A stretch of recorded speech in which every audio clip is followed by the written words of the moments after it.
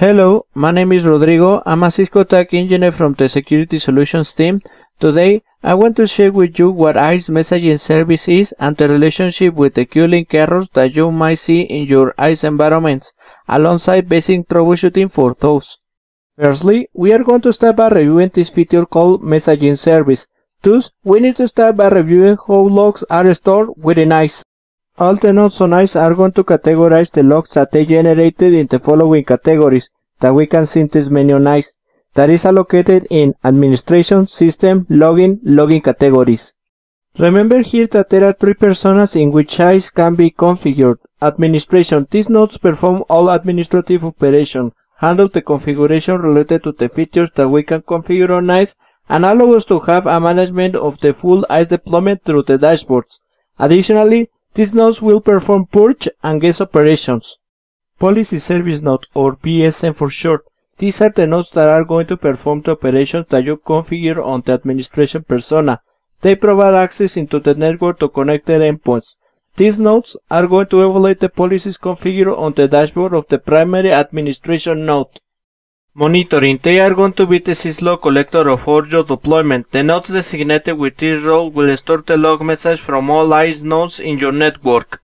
Coming back to the logging categories, we have seen that this configuration over here on the PAN will determine how logging is going to be stored in the deployment for different storage servers that are named targets. Notice here that the log collector is the primary MNT and log collector 2 corresponds to the secondary MNT. Now, with all this context given, the ISE nodes by design are going to deliver logs to the primary and secondary MNT nodes through syslog UDP. Starting ISE 2.6 and higher version, the ISE messaging server was introduced. What this feature is going to do is that these UDP syslog packets are going to be protected by Transport Layer Security, TLS.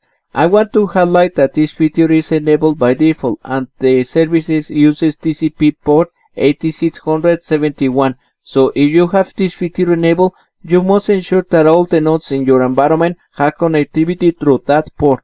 The TLS transport is achieved thanks to certificates that are in this menu. Notice that natively the messaging service is going to use the internal certificate authority services that is contained in all the ISE nodes within an implementation. Here we have an example of how the certificates are going to be generated in one ISE standalone node. This same hierarchy we can see it if we click in the button edit on the certificate used for messaging service. If we have a distributed environment, this distribution needs to be considered. It is important to review this diagram as all ISE messaging certificates in a distributed environment will have the same structure. The Queue Link errors are going to come into the picture as they are errors related to the misfunctionality of this service. When you have this type of alarm of ISE dashboards, you are going to have more symptoms such as the lack of live logs, reports, or health status within your implementation.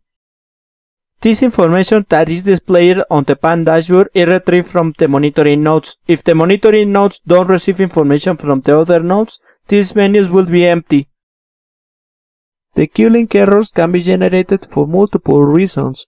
This error is generated mostly when you add new nodes within the deployment, perform an upgrade or version of ISE, or configuration backup restore of ISE due to the structure of the internal certificate authority services from where the certificates are based.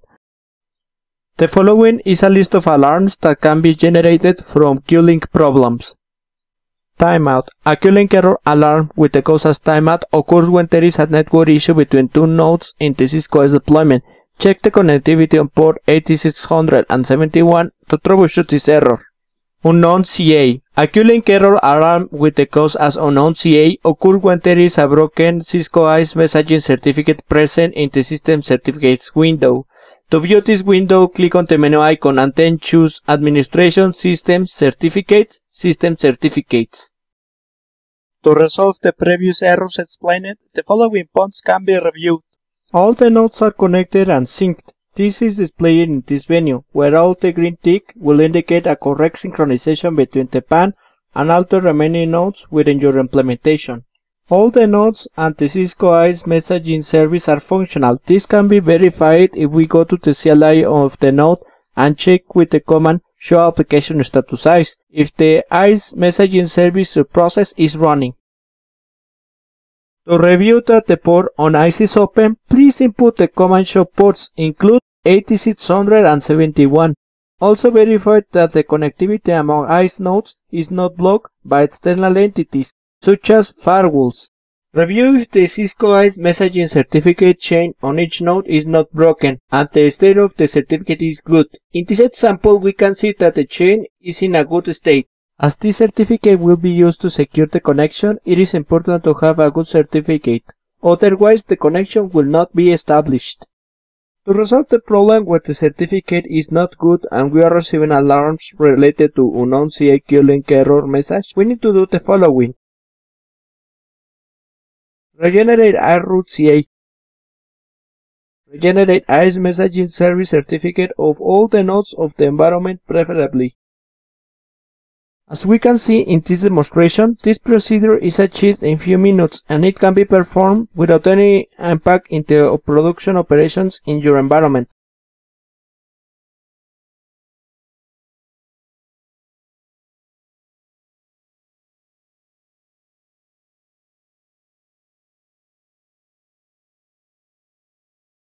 Once we finish this procedure, we need to wait for a few moments until the Queue Link error disappears and we manage to see again health status and live logs again on ISE.